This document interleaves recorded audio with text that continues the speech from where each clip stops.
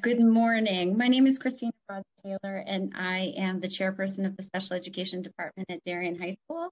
Um, Dr. McCarthy is actually um, having some technical difficulties, and so he is logging in on a different device. He is unable to hear us. Um, he is the director of special education services at Darien High uh, at, for the secondary at Darien Public Schools. Um, I know that you can't see us on the screen, but I will just um, say people's names so they can introduce themselves. And hopefully by the time we finish the presentation, you'll be able to see our faces. So I'm just gonna go across my screen. Um, I'm gonna start with Meg Emanuelson. Oh, look, video. Hi, everybody. I'm Megan Emanuelson. I'm the Director of Guidance for grades 6 through 12. Thank you for joining us this morning. Uh, Katie Hall. So the morning announcements are on right now um, at school, so hopefully you can't hear those. But I am Katie Hall. I am one of the special education teachers here at Darien High School. I currently am a case manager for juniors, and I co-teach two sections of ninth grade English. I can't see any of you, but it's nice to see you all. um, Dr. Williamson. Good morning. Um, I'm Kate Williamson. I'm one of the school psychologists here at DHS, also with the announcements happening overhead. Um, I am working with uh, 12th graders this year, as well as some of the 9th graders, along with my counterparts, and you'll learn more today about uh, who the team here is in terms of related services. Nice to meet you all virtually. And you all know Teresa Fox. Hi, I'm Teresa Fox. I'm the department chair for special education at Middlesex. Uh, Dr. McCarthy, fingers crossed, volume's working. I apologize about that. I uh, tried multiple devices and it still didn't work, but now it is working. So uh, whatever uh, restart button worked. I'm Scott McCarthy, a program director for special education. Nice to see you all. Uh, Mr. Sufyan? Hi, I'm Rashid Sofian. I'm a senior case manager at the Darien High School, and I also happen to coach three sports here. Um, nice seeing you all virtually, and looking forward to answering some of your questions. Mr. Rivero. Good morning, everyone. My name is Paul Rivero. I'm one of the assistant principals here at the high school. Thank you for joining us today. And last but not least, Miss Ellen Dunn. Good morning, everyone. Just uh, along to hear what everyone has to say and welcome all of you. We wish we were having a nice hot cup of coffee uh, in the chill zone at the high school right now with you. Um, but there will be brighter days. We'll do it. We'll do it in the fall, hopefully. Um, but we just welcome everyone. Uh, you're in wonderful hands, as uh, Joan said earlier, with a wonderful team here, and uh, we're excited to meet our incoming ninth graders and welcome all of you to the DHS family. Enjoy the presentation. Super. So I am going to share my screen and we will be able to start. So Dr. McCarthy. I think we are a few slides yeah. ahead. Sorry about that.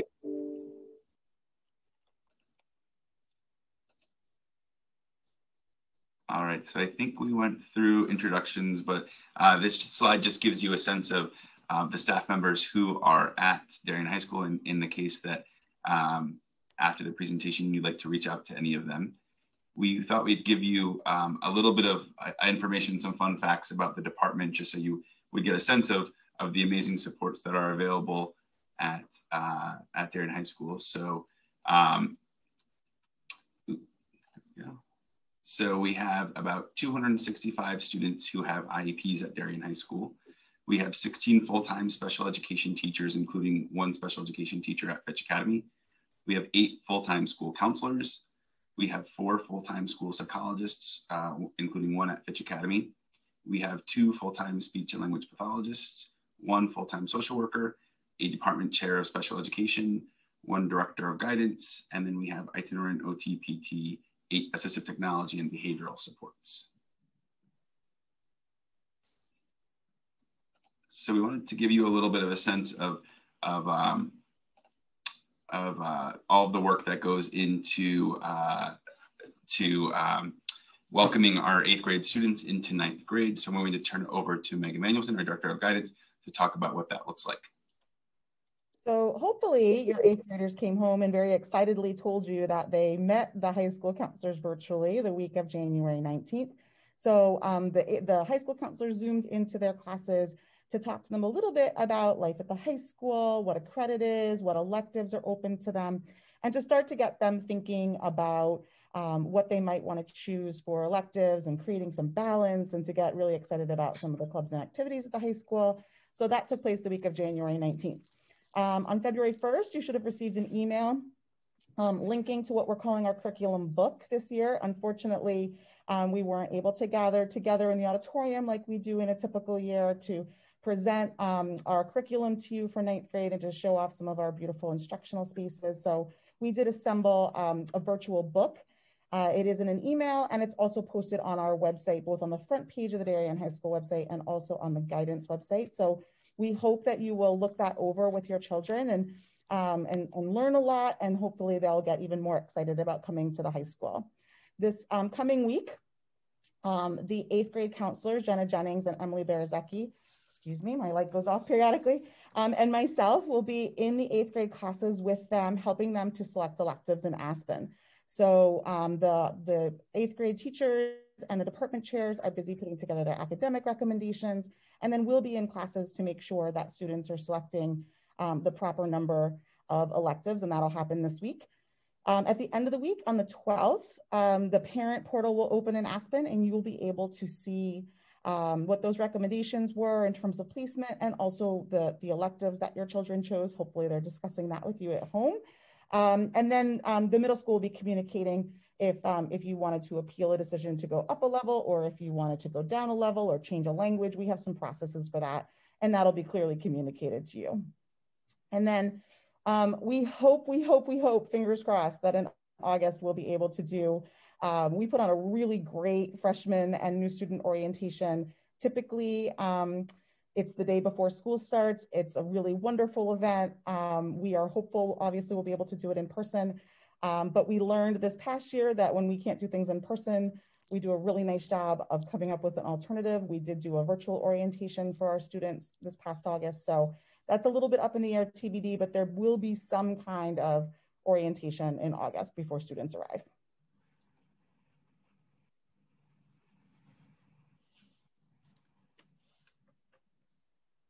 So along with um, Megan and the other school counselors coming in to talk to students about course selections for next year and working with their teachers for that. Um, the eighth grade teachers do a lot of planning and collaborating with the um, teams at the high school to prepare for the students articulating up.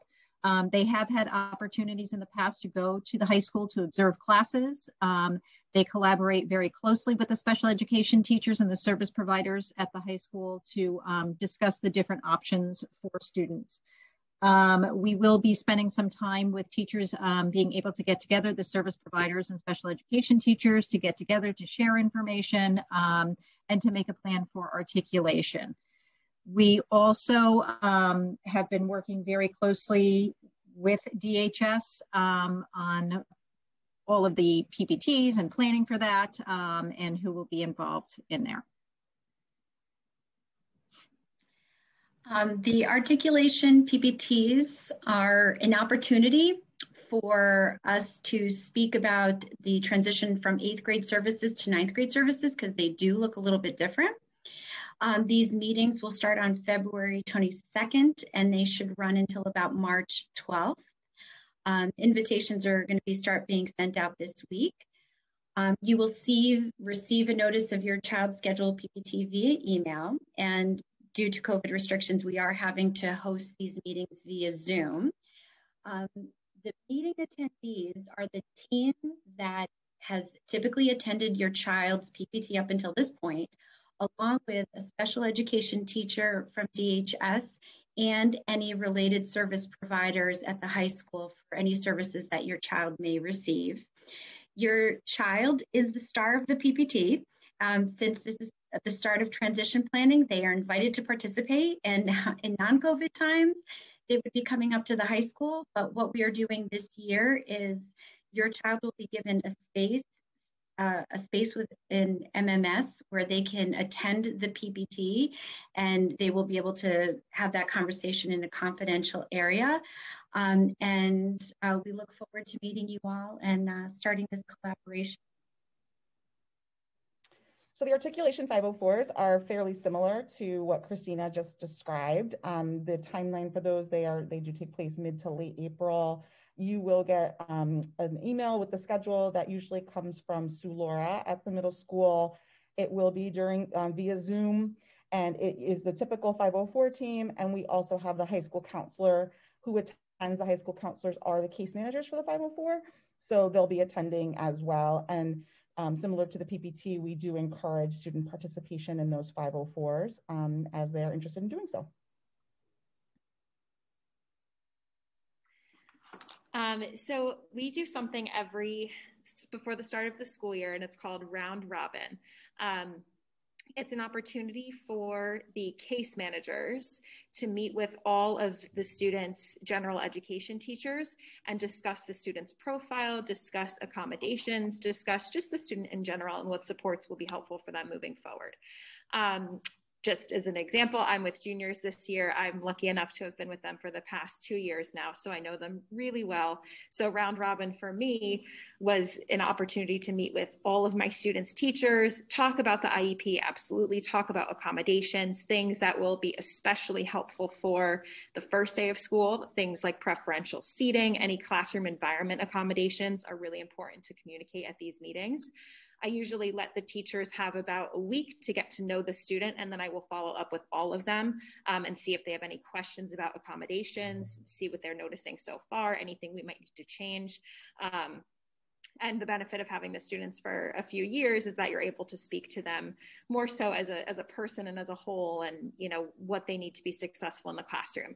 As teresa mentioned the high school team does meet with the eighth grade team and we will ask those questions. You know what can i share with the high school team? What do the high school teachers need to know?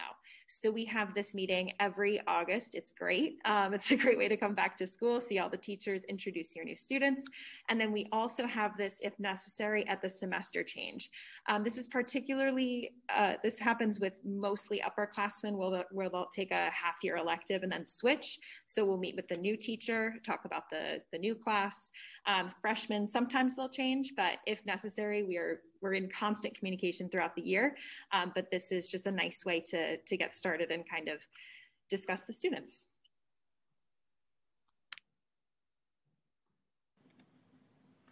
Good morning again, everyone. So, so this is my 12th year at DHS, and, and one of the common questions I get, especially for new parents that are that are coming up that haven't had a high schooler come through yet, is what's the communication chain? You know, what's who do we go to when we are looking for something? Um, and so here's a general rule of thumb. I will say, feel free to reach out to anyone at the high school. There's no one person that like will not answer your question or anything like that. Oftentimes, if we don't know the answer, we'll get it for you or direct you to the right place. But just for your own time's sake, in general, if you have a specific question about a grade or a class or, or something to that effect, always feel free to reach out to the general education teacher. Um, if it's a question about an IEP, um, something related to an accommodation or, or uh, looking at what the progress is overall for a student, the case manager, um, or if you have someone that has a related service uh, provider, reaching out to that person would be the, the point, the go-to person for that. You will get to know your case manager, as I'm sure you have down at Middlesex also, but your high school case manager, you will get to know very well. Uh, Katie Hall and, and Rashid are two of our case managers that um, build very strong relationships with their students and their families, and, and I'm sure you'll have a similar experience next year. Um, next is the school counselor. Every student has a school counselor. They have the same school counselor for all four years.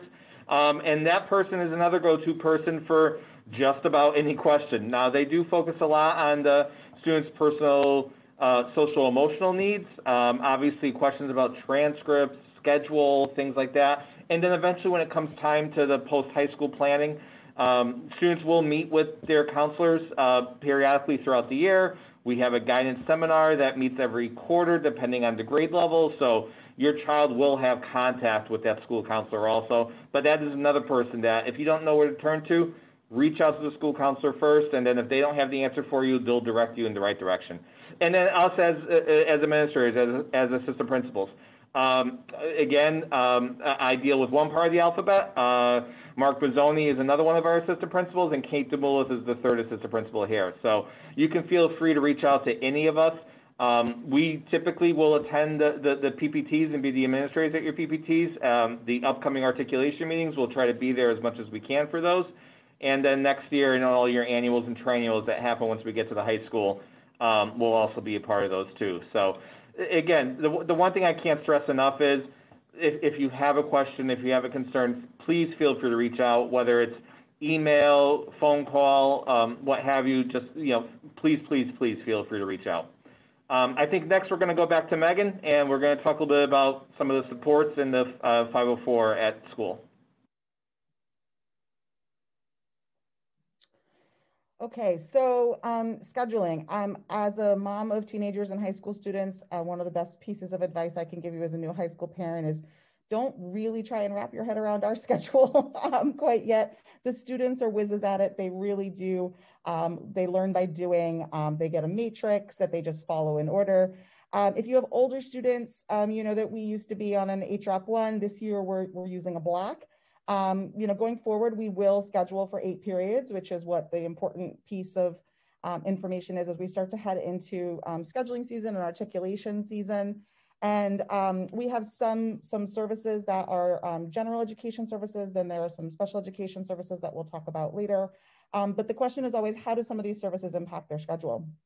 So at the articulations, we will certainly help to when we're looking at related services and what kind of supports are recommended for a student, we'll try and really map out and make sure that there's certainly room in the schedule, how it will fit, and we'll definitely explain this in greater detail when we're talking about your individual student. Um, we have team taught classes in some academic areas. Um, those are classes that are taught by two general education teachers. So, um, so there'll be two content area teachers in the room. Um, there's really not a huge impact on a student's schedule. It's not um, in the sense that with the exception of the fact that there aren't that many sections of it. So if they're in a team taught, they might have to be in a particular period. Um, you may have heard of our lab model. This is also available in some academic areas. Um, and this one impacts the schedule in the sense that it is an additional three periods um, in a student's schedule that's really designed for some pre-teaching and re, um, reteaching. So that has a little bit more of an impact on the actual schedule and how many things we can fit into a schedule because it's in a whole separate period, um, three additional um, periods in our cycle. Um, related services, either, either counseling or speech or um, OT or PT, anything like that. Um, that's obviously determined by the PPT in terms of frequency. And again, at those meetings, we'll take a look and see, see where they will fit. Um, students do have study halls and free periods and, um, and periods opposite their labs. And so we'll be looking to make sure that we can certainly make that work within a child's schedule. And then guidance seminar, I'm a little biased, but I like to call it the best period of the week. Um, each student has that once um, for one quarter. Um, freshmen will have it second quarter. And that is a time that's during a study hall or, or not, you know, it doesn't interfere with their related services um, but it's with their school counselor. It's developmentally relevant um, topics. It's a it's a curriculum that we've written, um, and it's we're, we're, about five five meetings or so. It's really wonderful for the, the counselors and the students to get to know each other, and again for us to share important information. So that that's figured into the schedule um, during second quarter. So as I mentioned, the school counselors are the case managers for the 504 plan. So if you have a student with a 504, the case, this, the counselor will be your point of contact. Um, they are reviewed at least annually um, so that we can certainly make sure that the accommodations are, are appropriate. We will reach out to you to schedule those um, on an annual basis.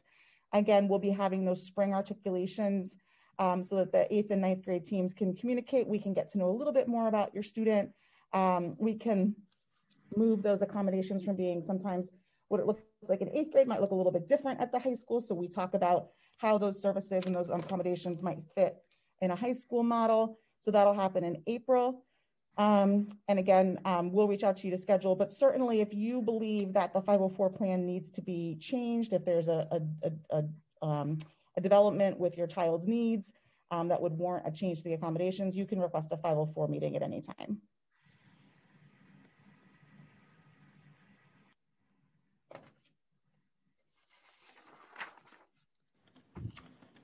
So we'll come back to me now. So Megan mentioned before some of the general education supports that we have, um, whether it's the team taught, the lab classes.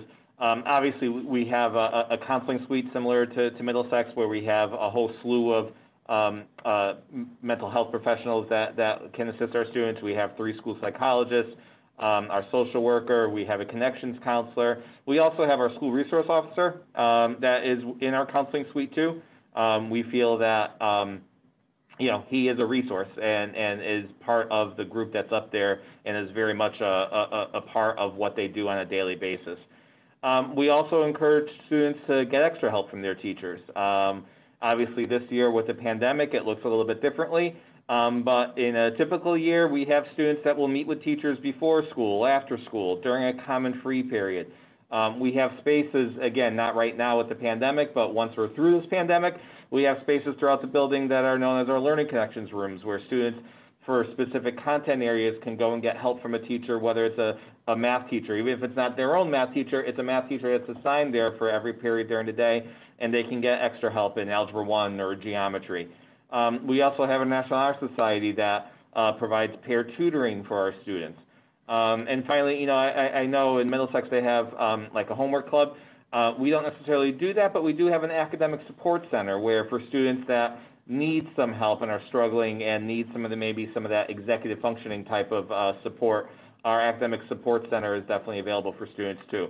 This is outside of what students receive in special education. So in addition to students with an IEP or a 504, um, even for students that don't have any of those supports, these are available to them also.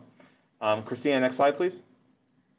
So our team taught, again, there, there's two general education teachers that are in there. Not every content area has this model, uh, and, not for every course, but we do have it for, for some of them, um, uh, especially in ninth grade.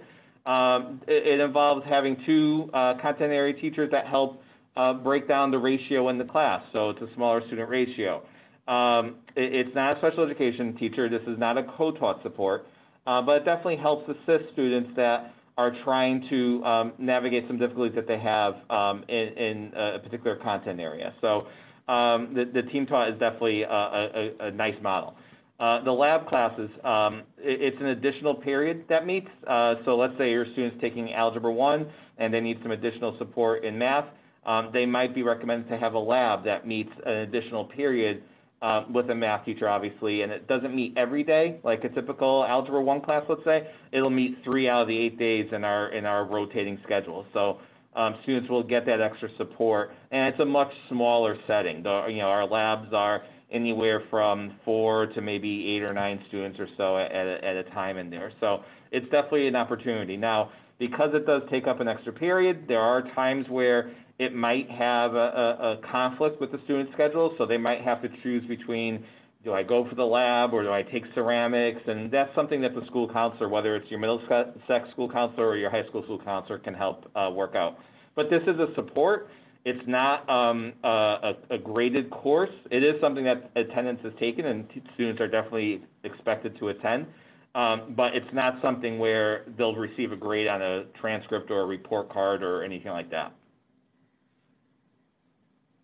Next slide, Christina. So, um, oh, one back to oh, finish. Sorry. Sorry. there you go.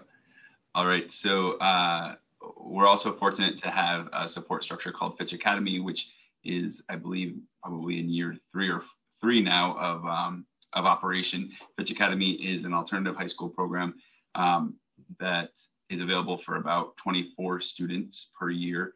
Uh, grades 9 through 12 students can apply to the program um, uh, on the website. It's a, it's a fairly brief application. The, the emphasis at Fitch Academy is on um, uh, sort of project-based learning that uh, is collaborative and um, is supportive.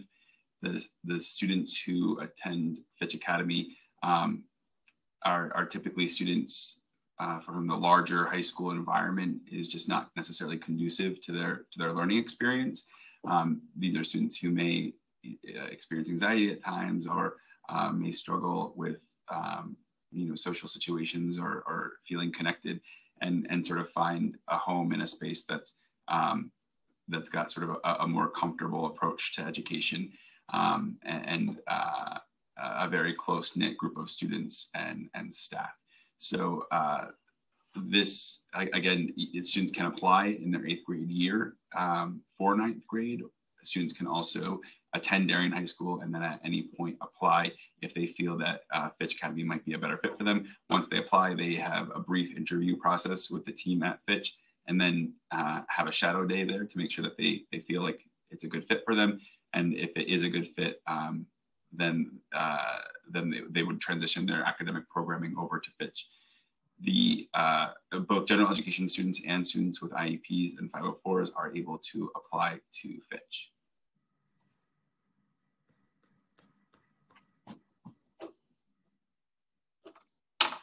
Hi, everyone. As Paul uh, Rivero started to highlight, um, we have many mental health supports um, available to students here at the high school. Um, and again, these are available to all students. Um, we are here to support all 1,400. Um, and as uh, we identify additional needs for students, whether it's through a 504 plan or an IEP, um, we individualize those supports as necessary.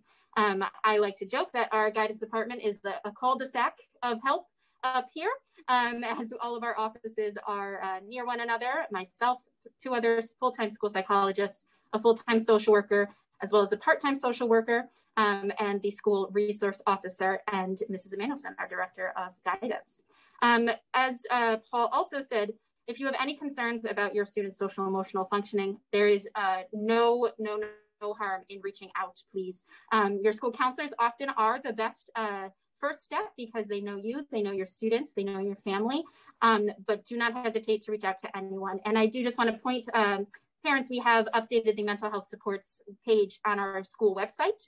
Um, I know the middle school has very similar structures. And if you uh, go to the DHS page under the parent section and the guidance department section, you'll see pictures of us without masks, um, as well as some information about how to contact us, um, who we work with, and what we do.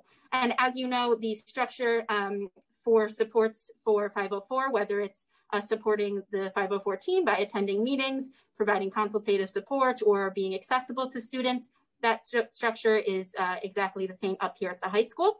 And similarly for students with IEPs, if a student, um, a student's social emotional functioning is really impacting their ability to access the general education curriculum, they may have individualized goals um, that are serviced by uh, individual school-based counseling time with a school psychologist or the school social worker. Um, and just that last bullet point here, I know we've used that acronym on a couple slides, so just to introduce it. Um, DBT stands for Dialectical Behavior Therapy. And this is um, in outside of schools, a therapeutic approach to um, promote uh, wellness and, and mental health um, that really is rooted in cognitive behavioral therapy. Um, and what it does is it kind of pairs the hallmarks of CBT in um, promoting emotional um, awareness uh, our, of our thoughts, our emotions, our behaviors, how those interact, um, as well as how they interact with the environment around us um, to promote healthy emotional functioning or where we get tripped up and we experience um, some difficulties. so there is a wonderful team that the district consults with and we consult with here at the high school to help us transfer um, some of those DBT skills to school-based applications so that we're really focusing on skill building with students, building their awareness of their emotions, their emotional functioning, emotional regulation, distress tolerance, and skills such as that. So our school psychologists here were, and the social worker are all trained in DBT, as well as some school counselors. So we, we work on embedding um, that uh, kind of those skills and that perspective into the work we do with students. Um, one of the things that I'm going to speak about now is just the service continuum of specialized programs that we offer at DHS. I know that Megan Emanuelson spoke to you before about the eight periods that are scheduled. Um, and so we frame um, the program that we create for your child based on that eight periods, based on those eight periods. Um, we have different components of our program. We have Learning Center, direct reading instruction, related services, talk classes, comprehensive classes. We have the core program and the Excel program. Um, my colleagues are going to speak more specifically to these, but I want to emphasize that even within each one, there is a range that we can offer to students. So when we're speaking out lear about Learning Center, for example, the standard offering for Learning Center is a block of Learning Center. So your child will work with their case manager during Learning Center. Um, they receive extra supports. They can work on their um, goals and objectives during that time. But even in that, we have some students who may need the seven out of eight, others may need four out of eight, and others may need more. So when we have that articulation meeting, we will be working with you, the MMS team, and the DHS team to create a highly individualized program for your child. And that is something, of course, that we've revisited over the course of the years that they're with us as well. Um, as I said, we are going to have um, different individuals speak to each one specifically. So um, the co-teaching, I'm going to ask Katie Garf, uh, Katie Hall to speak to. Yay. Okay, so um, as I mentioned at the start of the panel, I case manage 11th graders, but I'm a co-teacher in a freshman English class. I've been in the uh, co-teacher role in freshman English for the past three years. I'm biased, but I really think that the books that the students read freshman year are some of the most amazing books that are in our curriculum of Mice and Men, To Kill a Mockingbird. Like it, it's wonderful. It's a wonderful year of books. Um, so similarly to the team teaching model, there are two teachers present in the classroom. However, um, in team teaching, it would be two content area teachers, like a history and a history teacher. With co teaching, you have a content area teacher. So in my case, I have a you know an english teacher and then you have a special education teacher also in the room and so the two of us work together and co- collaborate to create lessons that align with our students with IEPs and their goals and objectives. So first and foremost, um, you know, if I was your child's co-teacher in English, I would be a service provider on his or her IEP, and I would be um, partially, if not fully, responsible for the implementation um, and monitoring of their goals and objectives. So my co-teacher and I are in frequent communication and we plan we work really well together, but we plan all of our lessons together, and we are constantly discussing the ways that we can sort of uh, adjust our curriculum to better support our students with IEPs. We've been working with uh, Dr. Marilyn Friend for the past few years, who's like the co-teaching guru. She's given us so many amazing tips and ideas for our classes. She's come to observe me for the past two years, and she's given me, you know, great feedback for me to work with and help better my instruction. So I wanted to give an example of what a co-taught lesson might look like. So currently in our co-taught English class, we are reading Lord of the Flies. Again, I'm biased, but like best curriculum ever. Lord of the Flies, the kids absolutely love it. Um, and so we have some students who have IEP goals based around monitoring character development throughout the course of a story, as well as identifying and supporting a theme of the book. So my co-teacher and I decided to put together a lesson plan where we used stations, meaning there were about five students per station, four stations total. One station was focused on theme, one station was focused on character development, one on symbolism, and one on conflict. We just use one chapter of Lord of the Flies instead of taking a whole book. Um, and we decided that I would teach the stations that were centered around character development and theme, since those are skills that our students with IEPs are working on. And my co teacher would work on the symbolism and conflict skills with the other students. We strategically group these students so that way they are in a supportive group, um, a group that they feel like they can be successful with. And then I am able to collect data from that lesson to support that they are either satisfactorily making progress towards their goals and objectives, or if they need a bit more support. In addition to providing those um, lessons, we also provide so many materials. So if a student has graphic organizers, audiobooks, rephrased questions, wording, highlighting, I do all of that for any reading that we give. So any sort of passage, if there's difficult vocabulary, I'll go in and modify it to make sure that there is a simplified word used, really just to give our students access to the curriculum. Um, so if your student is recommended for a co-taught class, whether it be English or math, um, they are in wonderful hands. We have a really supportive team of teachers who collaborate with the other departments really nicely. Um, and like I said, they read wonderful books their freshman year, so they should be very excited about their English class, especially. Thank you, Katie. And next would be Rashid. Awesome. So our students at the high school receive Learning Center with IEPs, and this is going to be very similar to your resource center that the students are used to at the middle school. Um, at at the LC and d- during LC, the students are engaging in mini lessons where these mini lessons are focused on some of the skills and the goals and objectives found in their IEPs, as well as working on content area specific assignments. Uh, a mini lesson uh, example could be uh, I, I, happen to case manage seniors this year, and they're in the process of applying or being admitted to institutions for college. And the current students in my learning center are learning how to apply and advocate for accommodations at the college level. So there's many lessons around what types of accommodations that their schools provide, as well as the process on how to successfully apply for those accommodations. So when they leave here, they're really set up for success.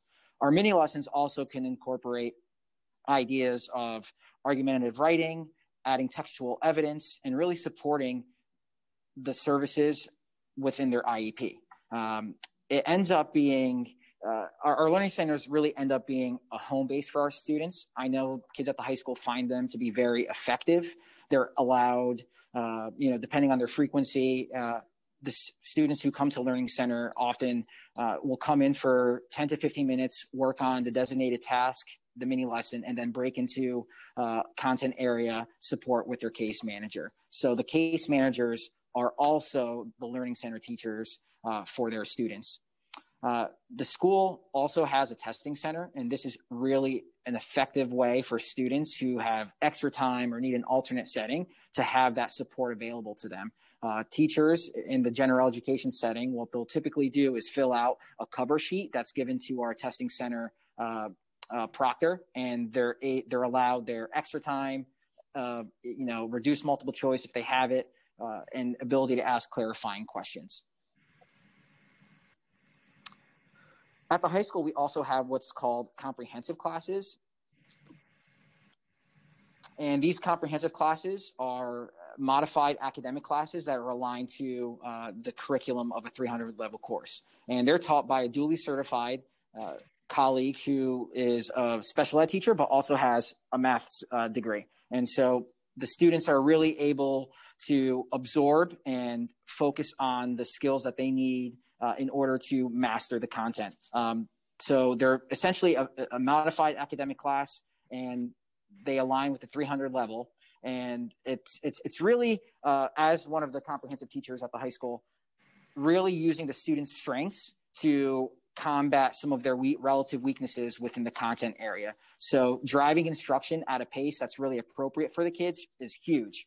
Uh, typically, if there is uh, a more challenging concept, we'll spend more time really trying to build the foundational skills because as we know with algebra, geometry and algebra 2, those are extremely fundamental classes and our kids who are struggling really need the support uh, and, and are supported through the comp- comprehensive classes. And, and I, I should also note that these classes are also available for all the classes that are required for graduation. Awesome. So another support that we offer is direct reading support, similarly to the middle school. Um, I taught direct reading the past two years. This is my first year uh, just teaching or just being a co-teacher, I should say. So I can kind of talk through what the structure at the high school looked like. Um, similarly to the middle school, it's still in a small group setting, um, specially designed instruction centered around reading taught by a special education teacher. So the way that I used to teach my lessons, and I know that the current direct reading teachers do the same, is that we provide mini lessons similarly to what Rashid mentioned in the Learning Center model um, I would try to group my students who had similar skills that they needed to work on, things like nonfiction comprehension, fiction comprehension, uh, fluency. But if necessary, I would always do um, an individual mini lesson as well. If that student wasn't able to be grouped somewhere, we would just, you know, modify accordingly. Um, but the mini lessons, like I said, would be centered around the skills on their IEP. Um, and what we try to do is try to align it to the curriculum as much as possible. Um, that's where I noticed the most success with my students is that instead of providing them an additional fiction passage to read and find the main idea, let's work with chapter eight of Lord of the Flies that you're reading in English class. So that way it would support uh, the curriculum that they were working with. Western Civ tends to be challenging for our incoming freshmen. And so it was really helpful for my freshmen in direct reading last year. For example, if they had a fluency or decoding goal, I would go through one of their readings for Western Civ and I would pull out some multisyllabic words and we would preview those words before reading the passage and then measure fluency that way. We would also um, monitor uh, comprehension of nonfiction that way, uh, but we try to align it to the curriculum where appropriate. That way, the students feel like they can be more successful and they have a better understanding of the content when they arrive at their classes.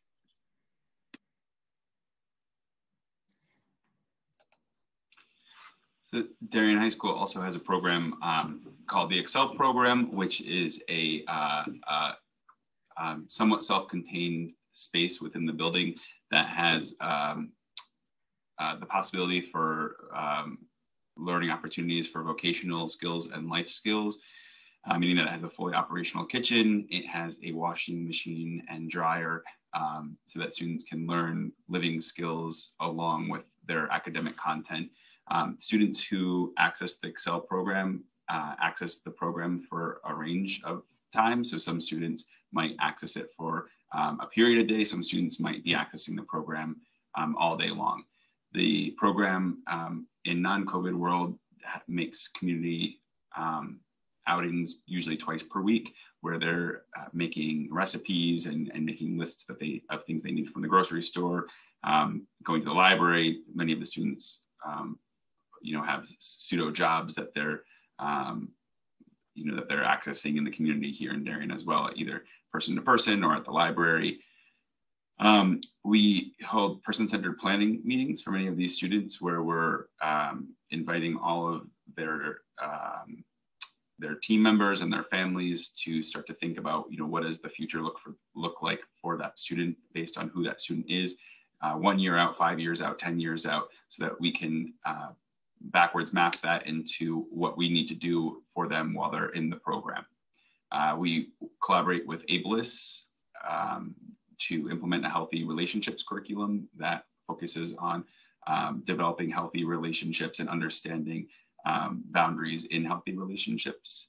And uh, all the students in the program have access to participate in the Unified Sports Program, which happened in the fall, the winter, and the spring, and our Best Buddies program, which is a, a program that um, uh, where students are, are sort of matched with typical peers for things, um, you know, as simple as, as going to lunch, but also, um, you know, uh, in, in community outings and um, things like, you know, bowling and things like that.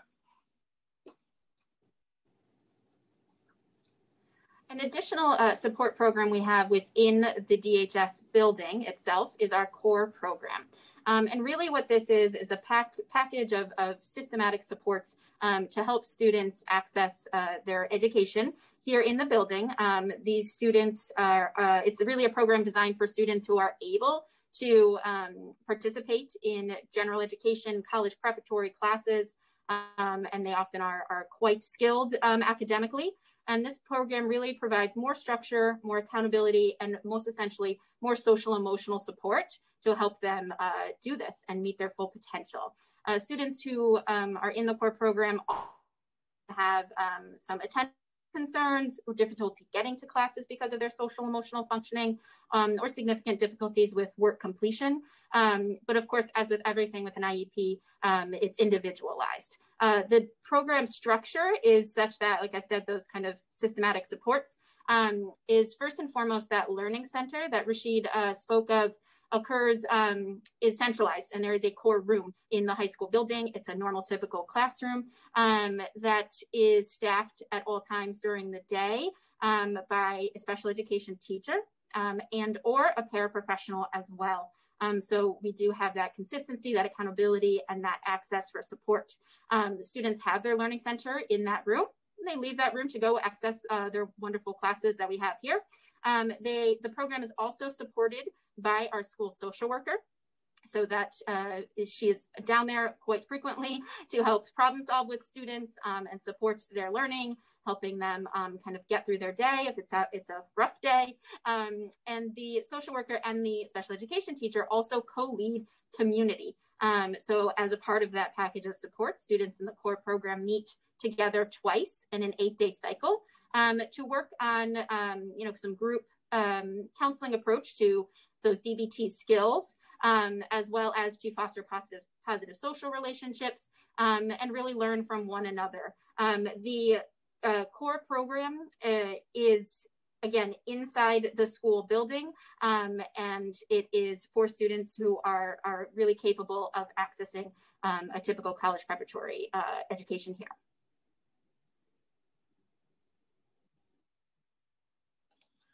All right so uh, thank you for um, listening to our presentation. I know we presented a lot of information. There's a lot of questions and answers flying through the chat here um, we did want to offer you an opportunity to ask questions privately as well. So my email is, or maybe not up on the screen anymore, but I'll put it in the chat just so everybody has it. And if you have any questions that you wanted to ask that are more general, um, that you didn't want to ask in front of the entire group, you can feel free to email me and I will point the question in the, uh, in the right direction of our panelists give everybody a few minutes just to send in questions. You can, again, continue to use the chat. I just know that um, some of the uh, the things in the chat might not be getting answered as, as other ones come in. Dr. McCarthy, I think there were also some parent questions that were submitted with registration that were sent to us. So um, I can put those out while we're waiting for people to formulate theirs. Great, thank you. Um, so one of the questions was, what is the relation of required classes to electives? So um, in general, students are scheduled for their four core classes, and then the fifth period is a is their biology lab, PE health. Um, if students are taking a world language, uh, students are taking a study hall, learning center, related services. So it really depends on the student's program, um, and that will be discussed in great detail at um, at the PPT and the articulation. Um, one, it's a question, a couple questions about um, co-taught classes that'll be available for next year. Don't know who wants to take that. Um, find that one in there. That was the one the, that was sent to us ahead of time. Classes, we have co-taught English, we have co-taught history that will be available next year. Um, and uh, for the freshmen, for the freshmen coming up.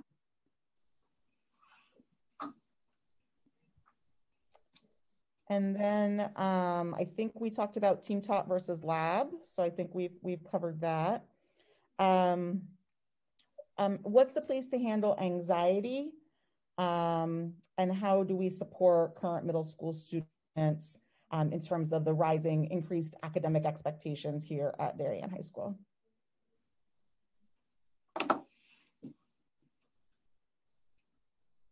That's a great question. um, I think that what is helpful is um, to differentiate between um, predicting the future and uh, appropriately coping ahead for the future. Um, so we don't want to get into a pattern of, uh, you know, thinking everything is going to be so hard and so overwhelming and, you know, kind of letting our minds spin with those worries and fears. Um, but what can help is, is systematically uh, coping ahead and um, gathering information, gathering structures, um, and supports and thinking about routines um, and especially knowing who uh, your students resources are. I think students um, are much more comfortable their first couple weeks of the school year. All ninth graders are uncomfortable right? Um, but they especially are more comfortable if they know um, who to go to for what they need. Um, we are always happy to uh, meet with students, uh, you know, before the school year starts, and school counselors are usually in here a couple days ahead of time, and you know, can say hi and um, get, introduce themselves to you. Um, this is also an opportunity with uh, the case managers and that round robin um, that Katie Hall mentioned, right? We can learn a little more about your student. Um, and of course, if they have a direct service, you'll learn who their service provider is. Um, but really just helping them have some information um, and be able to kind of uh, predict and, and know what they're walking into as much as possible. And then we'll take it from there. Don't worry, they'll, they'll be in good hands next year. Yeah, I would I would add that you know there's a whole team here. You know, sort of looking at the at the team on the screen. So everybody has a school counselor, but um, even if your your student is not IEP'd or scheduled for formal counseling services, we work very very closely with our school psychologists and our social workers. So um, our teachers are amazing about identifying a student who might need some additional support. So they'll they might refer a student to us, but so they might come down to the school counselor, they might be introduced to the school psychologist. So there's always someone who they can talk to if they're having um, a difficult time. And I would say if you have a child who um, tends to be a little bit more anxious or is feeling anxious, I think we're all pandemic. I think we're seeing a lot of anxiety. But if you have a child who is um, particularly anxious or or leading into high school is feeling that way, please just reach out. Um, let us know that ahead of time, and then we can take some proactive steps to work with you to try and smooth that transition ahead of time. Um, um, Meg, just to add, I neglected to mention that we also have co-taught algebra. Thank you. Um, when a child has been encouraged to self-advocate but is not willing or is not capable, um, so who who will sort of be their their advocate? And I would, my response will be probably pretty similar to what the, the response I just get. We have a whole team um, if I could, if I could bottle uh, self-advocacy, I would be a retired person. So that's something that we certainly, it's an emerging skill for ninth graders, for almost all ninth graders. It's something that we, we thread throughout our program here. Um, and so, uh, you know, I think every, every person that you see on the screen is an advocate for your child. And so um, you can reach out to anybody um, if your child needs help communicating with a teacher or talking to another adult in the building um, any any of the adults in their life can certainly help them to develop those skills. And, I, I, and I would like to add that that is also, I, I don't know if you were going to say the same thing, Katie, is that I see the continuum from ninth grade to 12th grade, even post high school, as that sometimes being a goal for so, some students. Some yeah. students are great self advocates, some need to start in ninth grade. But even when we're talking about those uh, post high school transition goals, that is something that our senior teachers are still working on with some students so students are prepared when they leave DHS to know how to advocate for themselves as, as learners. Um, I was going to add to that, Christina and Rashid, I'm sure you were going to say the same, that this is sort of embedded within our Learning Center curriculum. One of the first activities that I had my students do when they were freshmen was learn how to send an email, which I always tell the story. I thought it was going to take five minutes. It took 45 minutes, and then we needed to pick up with it the next day because everyone was like, What? I don't understand what this means. How do I do this? So um, we start working on those skills, you know, right when they get here. Case managers, especially with students with IEPs, we are the students' biggest cheerleaders. Like we have their back no matter what. Um, I have been to extra help sessions with my students that my students who were a little bit shyer and didn't feel confident. I was like, you know what? I'm not really getting meiosis and mitosis either. Let's go together. And then I would go with my student. And then eventually they were like, I don't need you anymore. I'm going to go by myself. So we really are there to support your student with whatever it is that they need.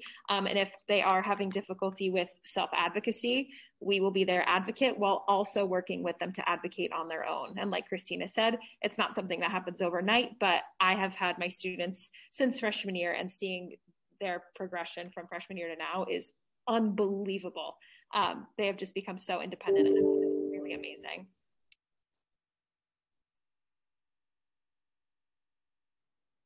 Those were the questions that were sent to us privately. So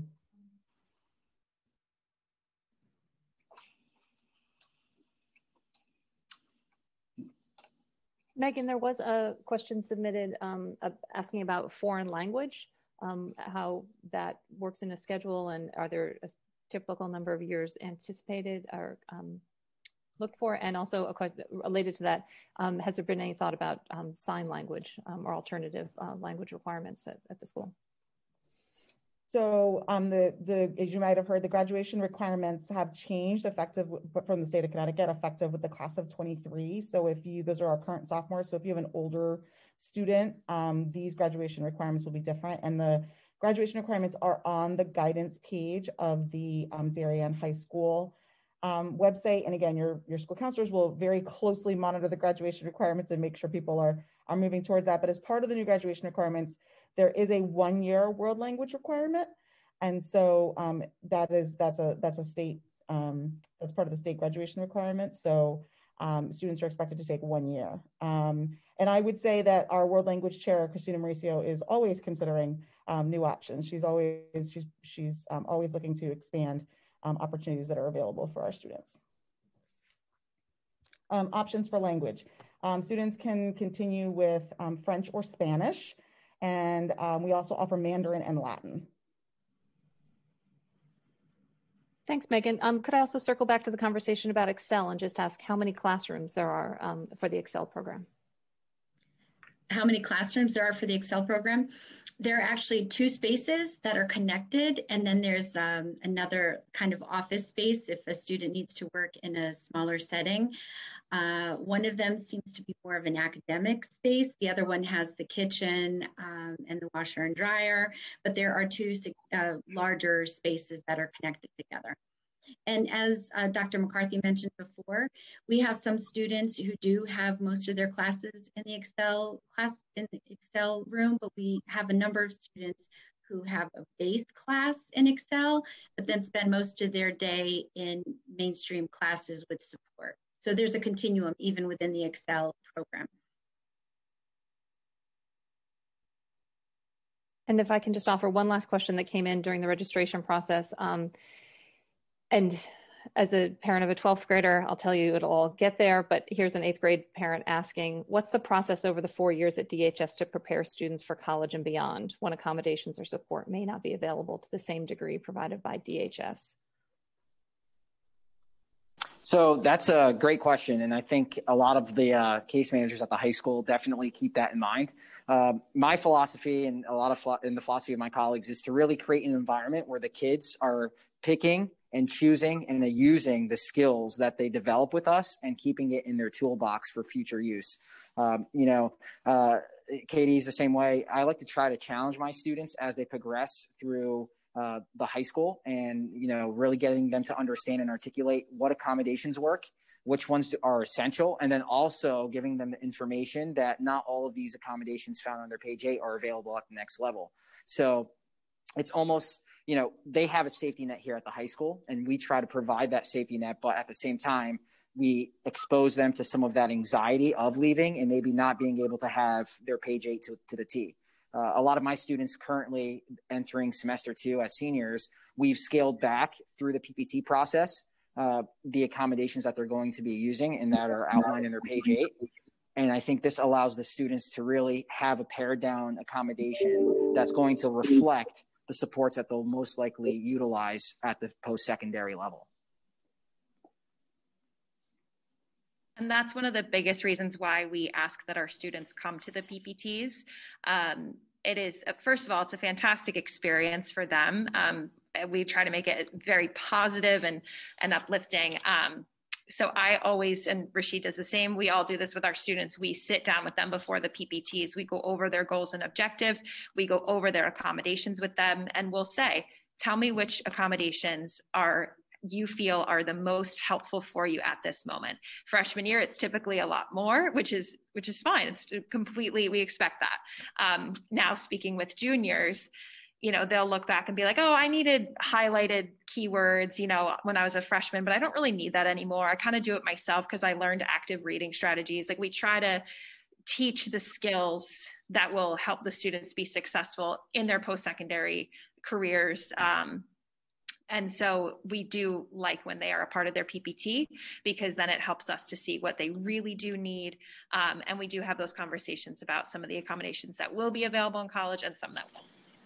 And uh, one thing I'm, I'd like to add so, our students at the high school who are receiving support at either during Learning Center or in the co-taught classes can really start to identify and actually name the mm-hmm. supports they're using and the strategies, which is awesome to see and the kids can really develop a way of applying them and generalizing them through all their academic classes and show mastery that hey you know this this might be a really weak area and i have these skills that i can use such as x y and z to help me get over this roadblock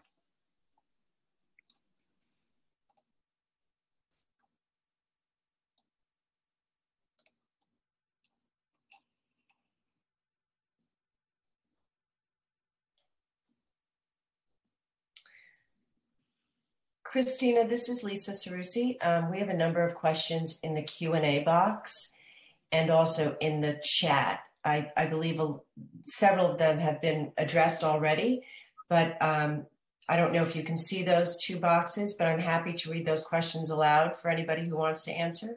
Yeah, could you read them aloud, please? Thank you, Lisa. Sure. Um, Somebody has asked, um, may we purchase textbooks for classes such as Western Civ so students can preview material over the summer? Where and how do we do that? Meg, are you able to answer that question? I know, I, I, I, know personally that I have bought a textbook for one of my own children before, but I had to wait until the class assignment to know what uh, textbook the teacher was using. So I don't know if in the summer that that information is available. Meg, is, do you think? So I would say I, I, think a lot of our, our teachers have moved to online resources, online textbooks, secondary sources. Um, so the, if you have a concern about a particular subject area like the site's West Civ, I would touch base with the department chair, um, who might be able to tell you, you know, what what resources and what um, books they're using so that you um, can see what's available um, online ahead of time. But that's probably a great question for our department chairs.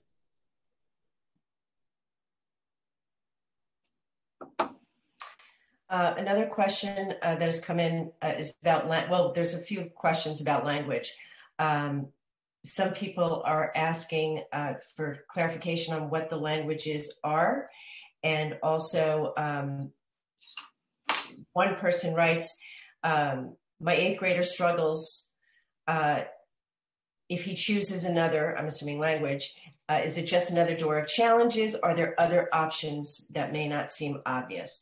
Um, so that's one question. And uh, language requirements, if you can also speak to that. Yep. So for um, the current rising freshman, the state has deemed a one-year world language requirement. Options are um, Spanish, French, Mandarin, or Latin. If a student has been taking a language, they can continue with that language. If a student has not been taking a language or would like to switch languages, they can start with a level one language in any of those. So Latin one, Mandarin one, Spanish or French. Um, some students, um, and again, this is really good information to be talking about at the articulation meetings, both 504 and PPTs. Some students won't take a language the first year. Um, that's possible as well. So it's not something that necessarily has to be completed the first year if we want to allow for the transition and other programmatic needs. Um, I, I, I say this only anecdotally. I have no scientific research for this, but I have heard that sometimes very counterintuitively, Mandarin is actually somewhat easier because it is visual um, and symbolic. And so sometimes students who have struggled with a traditional world language soar in Mandarin and kind of blows my mind because, you know, it's Chinese. Um, so we have seen students who have struggled with a traditional, say French or Spanish, come into Mandarin and just take off because it is so, it's so visual. Um, so I don't know if, obviously Katie and Rashid sort of shaking their head. I don't know if they have any direct experience with that. Um, what I was going to say, Megan, um, just from the language standpoint, um, at your child's articulation PPT, we will discuss um, the services that they receive as well as elective choices for their first year at high school. Um, Kate Williamson, I know that you used to like literally draw it on the board, like all eight periods, like the mini blocks, so we could see what the students would be taking their freshman year. But it's not uncommon for students to not take a language their freshman year. I had a lot that did not um, and are now taking Spanish. Some of them even started with a language this year. You know, everybody's on their own individual path. There's not like a one size fits all that works for everyone. So we do have conversations more specific to your child and their needs and their program during the articulation PPTs. And we also um, consider, of course, I know it's been said, but the related services. If a student has um, a full-time learning center that will take up some time in their schedule, of course, um, to great benefit. It's very, very worth it. Um, and they also may have, for example, a period or two in the eight-day rotation with the speech language pathologist. Um, they may have, um, again, some counseling time with a school psychologist or social worker. So those are also pieces of the puzzle. And those are also reasons, to Megan's point, why students may not take a language in that first ninth grade year. And I, I did put this in the chat, but just so that it's been said to everyone, um, for the purposes of what we'll be doing with eighth graders next week when we're working in classrooms, I know there's sort of, it feels like a little bit up in the air until we have these articulation PPTs about what they'll have room for. Um, we're gonna have the students input electives um, just as we would for any student. And then I think it's just really great information. I know when I go to those articulation PPTs, I think it's important to say the student's really interested in taking ceramics or the student is really interested in taking woodworking. And so we're going to have um, students complete the, the elective selection process next week.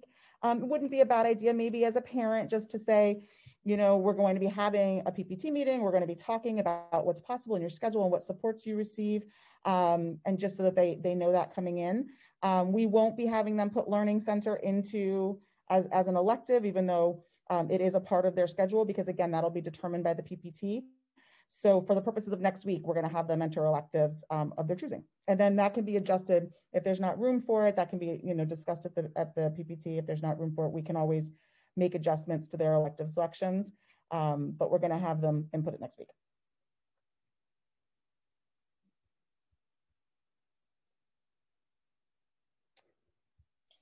Okay, uh, another question uh, regarding Excel.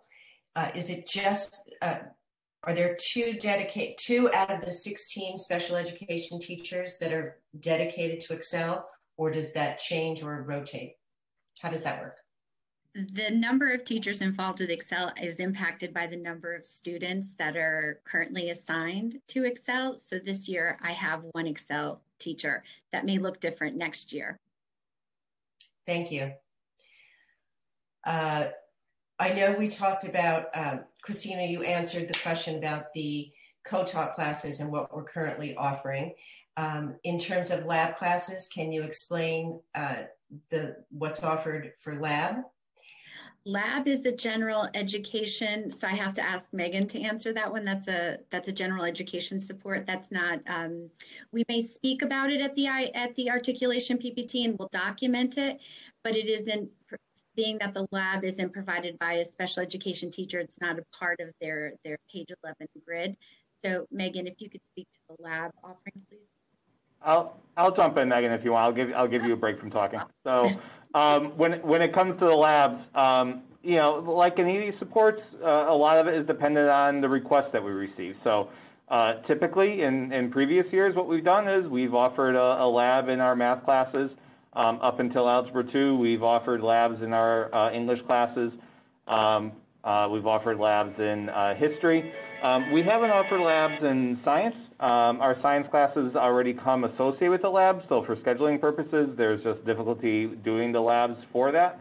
Um, in, in, regards to that too, I, will move on um, it, it, for the team talk. Going back to you know, in regards to the general ed supports, um, you know, again, depending on the content area, uh, we've had instances where we've had uh, team taught classes in some of our English, um, uh, history, math classes, science classes.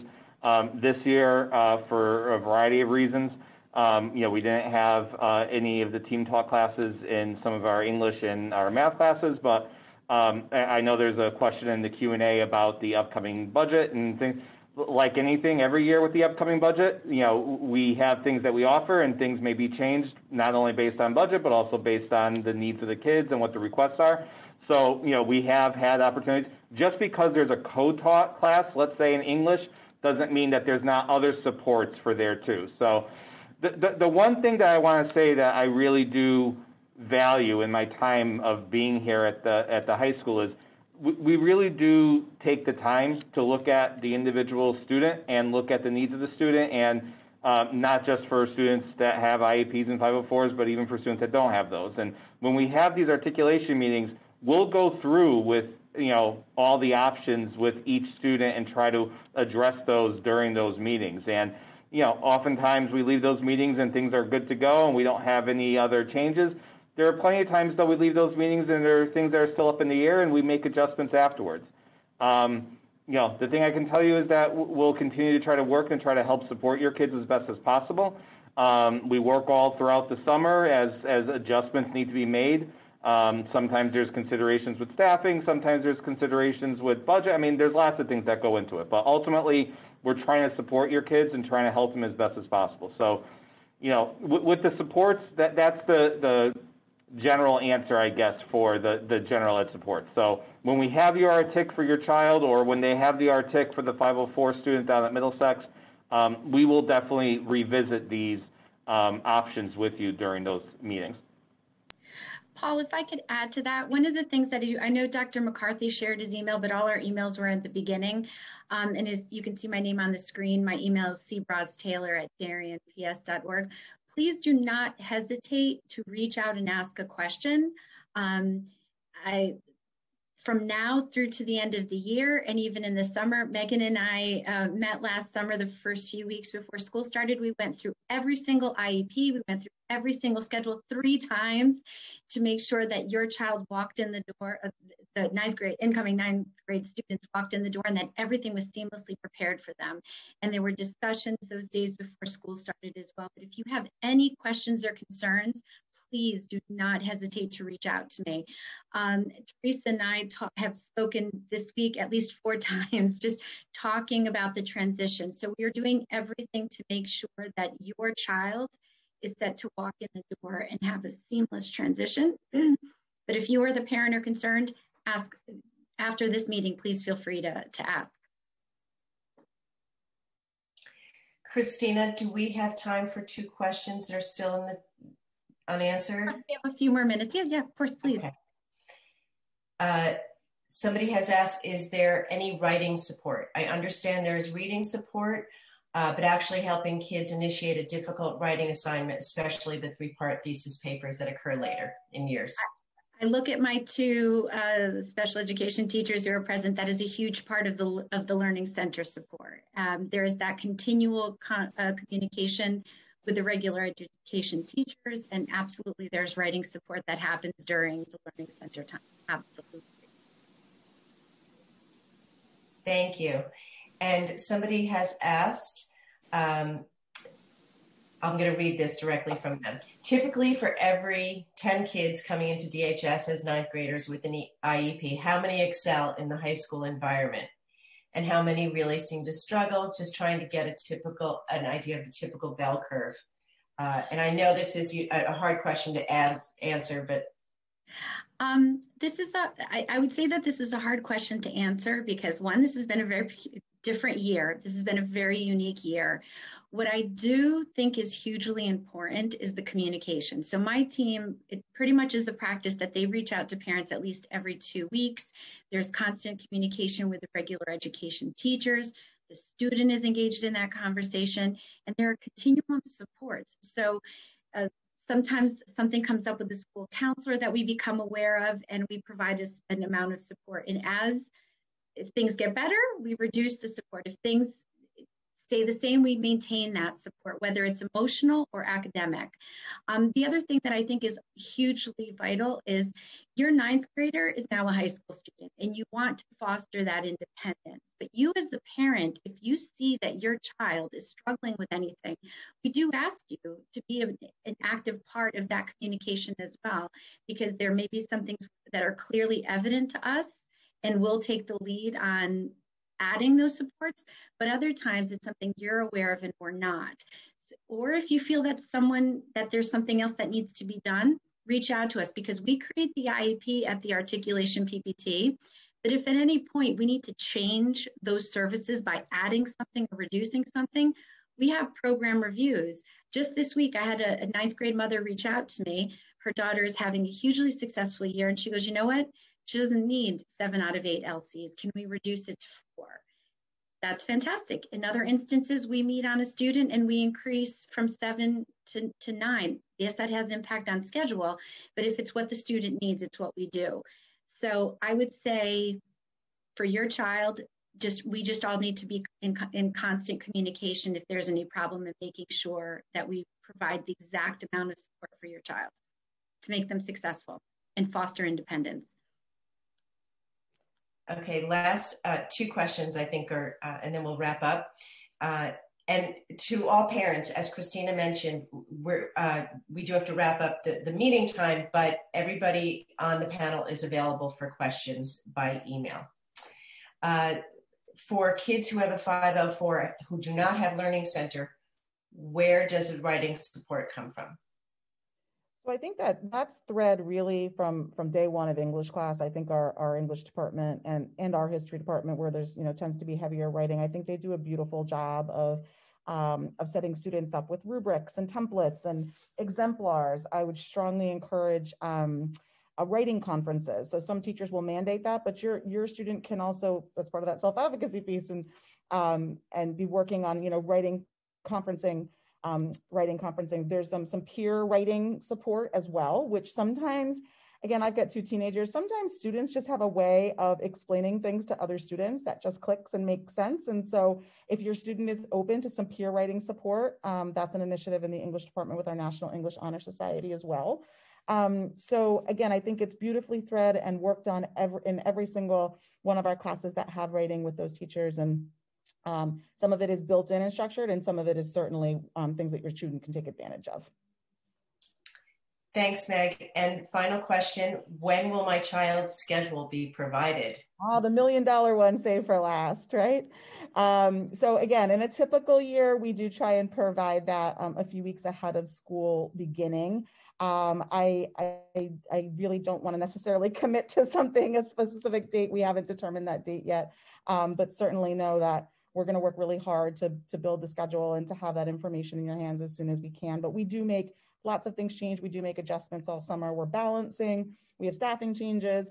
So there's a lot of things that happen with the schedule over the summer. So um, my hope would be, you know, a week or two before school starts, but um, depending on how um, the rest of the year evolves, it, it may not be that. So please don't hold me to that. Great, and thank you to all our panelists this morning and everyone who um, registered will receive a copy of the PowerPoint uh, from this morning. I'll send that out um, to you just this morning. So thank you again to everybody. Um, and you've got a great team of people here, so please reach out to them and welcome again to the high school. Have a good day.